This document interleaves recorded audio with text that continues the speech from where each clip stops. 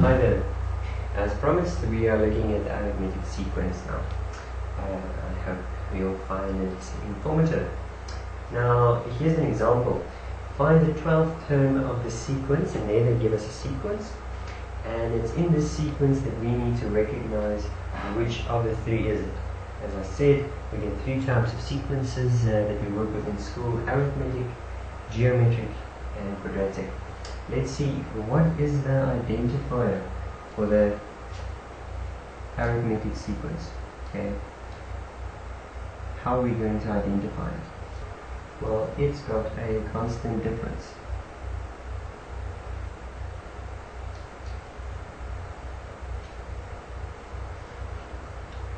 And we're going to call that constant difference D.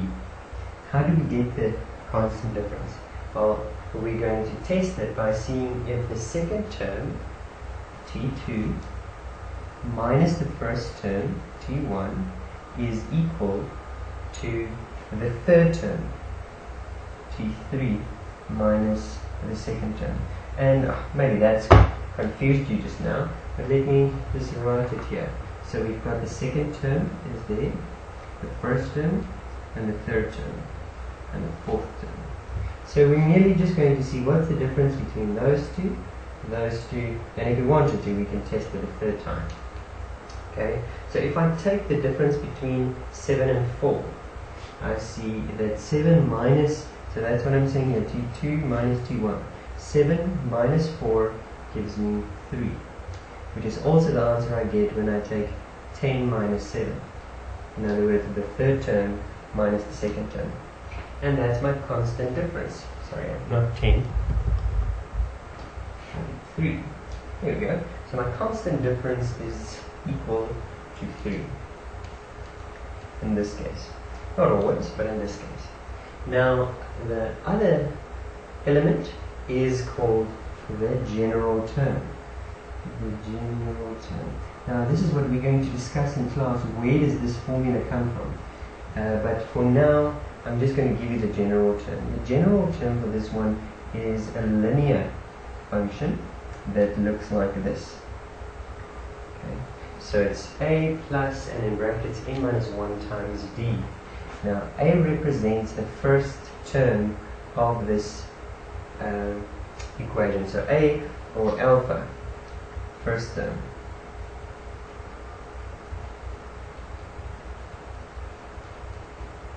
N, you should remember, I hope you do, represents the position number.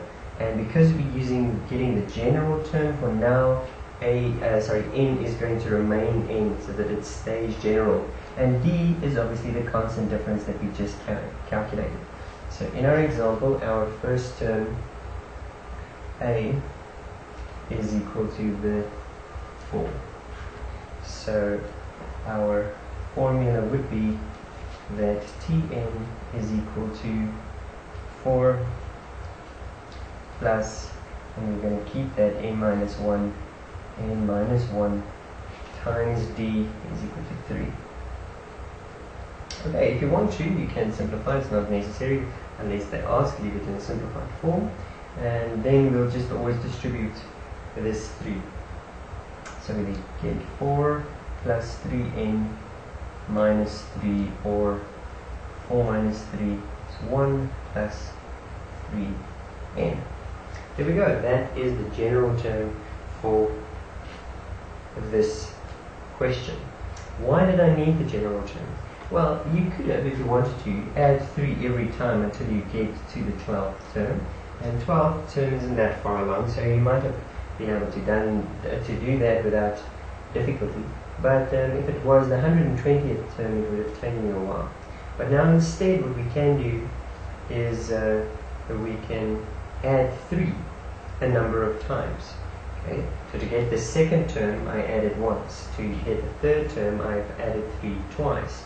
So that's what this part of the equation tells me. How many times I'm adding the constant difference, the 3 and this is just what I started with. So I start that and I add the constant difference n minus 1 times. In our case, we want therefore t 12. Which means I started with 4 and I added the constant difference 11 times. Okay, which is just 4 plus 33,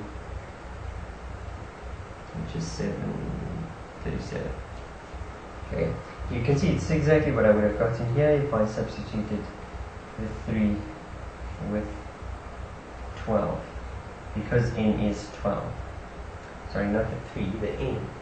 Okay so 3 times 12 is 36 plus 1 is 37 and that is how I would calculate the well how I would identify an arithmetic sequence and how I would find its general term we do however have more challenging questions here's one okay which term in this sequence is equal to, and there they give us the value that they want us to find. Okay, so let's just start again and identify, and let's just do this to identify. Identify 13 minus 6 is 7. 20 minus 13 is 7 again. So we have identified that we have a constant difference, which means we have the arithmetic sequence. And as soon as you know it's the arithmetic sequence, immediately start by writing your general term. General term is equal to alpha, the first term, n minus 1 delta, or d for constant difference. Okay, alpha being my first term, in this case is 6, and n minus 1. Remember, we are trying to find the general term. We don't want the value for n as of yet. Okay and my constant difference is 7. So for this uh, problem, I suppose it's probably easier to just simplify. Okay, so we're going to have 6 plus 7, since I'm distributing the 7, 7n minus 7, and I get my general term to be 6 minus 7 is negative 1, so 7n minus 1. Okay, now that helps us to now determine how to answer this. Which term in the sequence is equal to 76? It does not ask which is the 76th term. It asks which term is equal to 76. So we've got term value and term position. So with the question which term is equal to 76, that means that we are given the 76, the term value and we are asked to find the term's position, which term it is. Now that means Tn is 76. So it's simply the solution of this equation. Okay, solve it, let's just get n on its own. So we add an n on both sides.